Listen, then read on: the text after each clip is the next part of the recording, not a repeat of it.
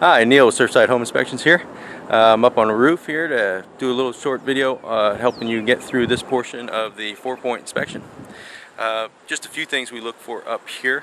We're looking for the condition of the shingles and there's no apparent leaks um, and uh, that the flashings are in good shape, particularly the pipe flashings.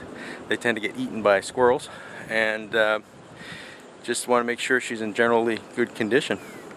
Uh, one of the things we do is we look at the shingles themselves and we want to make sure that the aggregate isn't all washed away. That's this the little stones, little little pebbles there. That's what actually protects the roof itself from UV rays, destroying all of the um, tar type products that are uh, that compose your shingles and your underlayment. Uh, the other thing is we want to make sure that at the corners and stuff these aren't lifting up. They start to get loose after a little while and uh, there's a self-adhesive strip under there that uh, will dry up and go bad.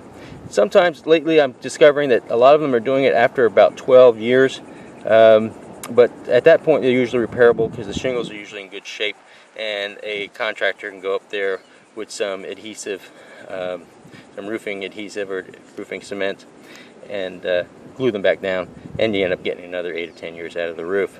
Uh, the other thing that we look at is these flashings here, these pipes, quite often all along the edges here, and it'll just eat down.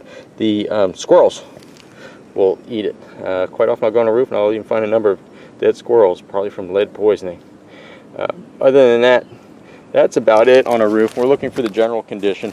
No major warps in the um, sheathing and that sort of thing. We'll check out uh, things with uh, regards to any flashing and that's it. It's really actually it's actually a um, pretty simple uh, look and a general condition. Not something to get too worried about uh, once I'm there. We'll figure out what you need to do. Um, if you know that your roof has some issues get them taken care of before I come because uh, the insurance companies none of them will insure it with there's roof issues. Alright guys. Uh, watch the rest of the videos. Homeinspectionsbyneil.com and uh, you can uh, also just do a search for home inspections in Port Orange uh, or home inspections Daytona Beach and just look for Surfside Home Inspections. That's us. And go to the four point page to see more of these videos